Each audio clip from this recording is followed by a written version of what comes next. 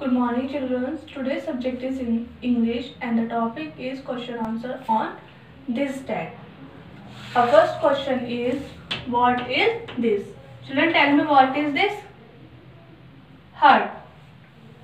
So this is a heart. Student write with me.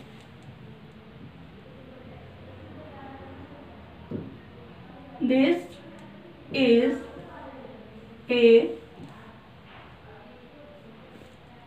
heart.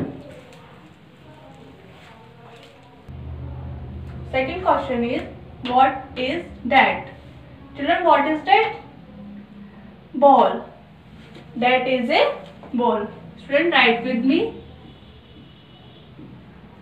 That is a ball. What is this? This is a heart. What is that?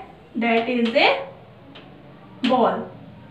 Children do this work like this in your notebook and do practice it.